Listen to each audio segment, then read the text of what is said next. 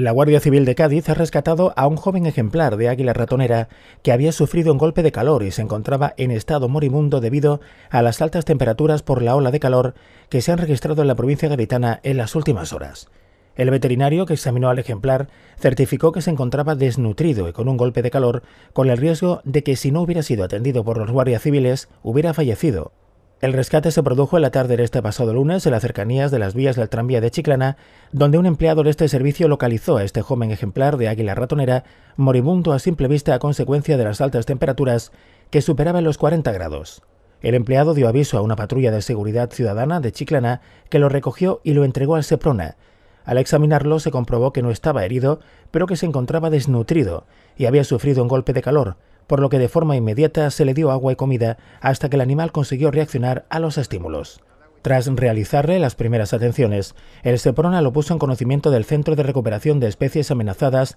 de las Dunas de San Antonio para su recuperación. Una vez examinado por el veterinario, este certificó su desnutrición y el golpe de calor sufrido. Este ejemplar de águila ratonera permanecerá unos días en el Centro de Recuperación de Especies Amenazadas de las Dunas de San Antonio hasta su recuperación para su posterior reintroducción en su hábitat natural.